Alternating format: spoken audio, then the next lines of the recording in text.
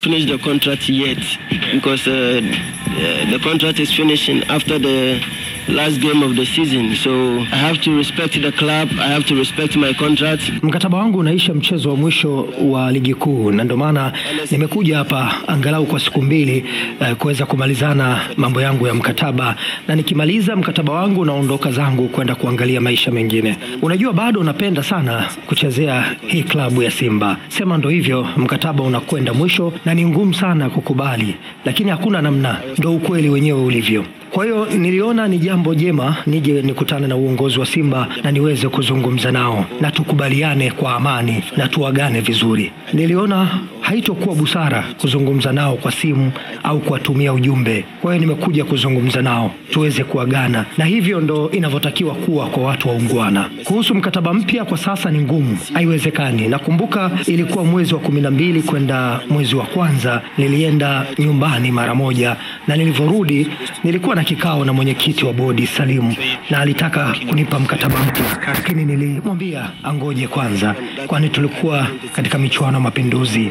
Kwa hiyo nilimwambia tumalize kwanza Mapinduzi, alafu tutazungumza. Na baada ya Mapinduzi tukawa na mambo mengi, na michuano ya Afrika tulikuwa tunapambana kwenda nusu fainali, na wakati huo nilikuwa namuuliza tena Salim kuhusiana na masuala ya mkataba, lakini alikuwa ananiambia tusubiri, tusubiri, tutazungumza, mpaka mambo yakashindikana. Unajua watu wanatakiwa wafahamu, yanazungumzwa mengi juu yangu, kuwa sina nidhamu, siheshimu watu, lakini wala sijali kabisa watu wanavyosema juu yangu. Hata mtendaji mkuu wa Simba na makocha wote waliopita Simba na watu waliopo Simba wanajua mimi simwogopi yoyote, kwani mimi ni msema ukweli tu. Kama kuna jambo aliendi sawa, siwezi kukaa kimya.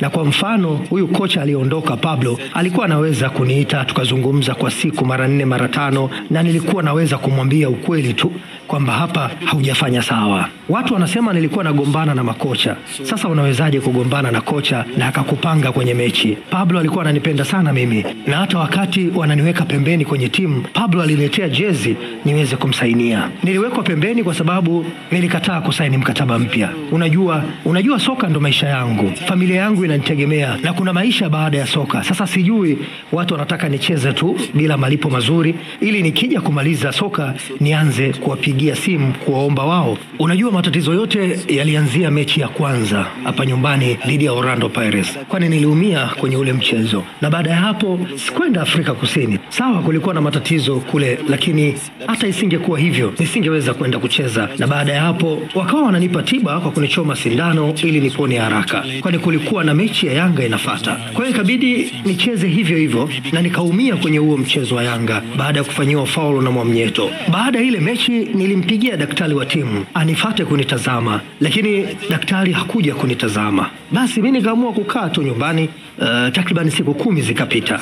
Baada ya hapo, Babla alinipigia simu na kuniita ofisini kwake kutaka kujua kwa nini siendi mazoezini.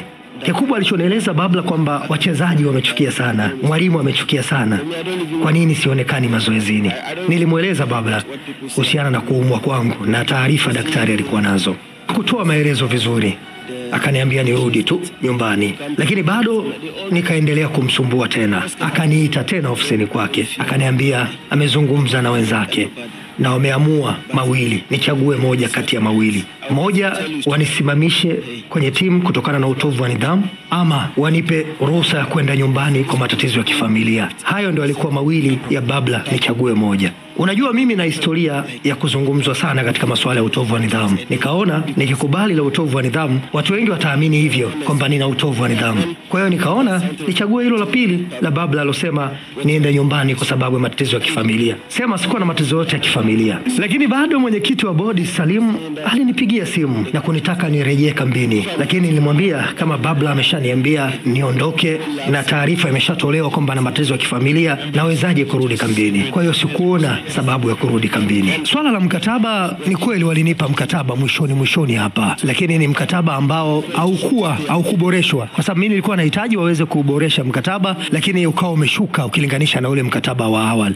Kwa hiyo mwisho wa siku sikuwa tayari, kwa sababu mimi nategemea mpira, maisha yangu ni mpira na familia inanitegemea. Kwa hiyo mwisho wa siku sikuona sababu ya kuweza kuingia mkataba ambao wameshindwa kuuboresha.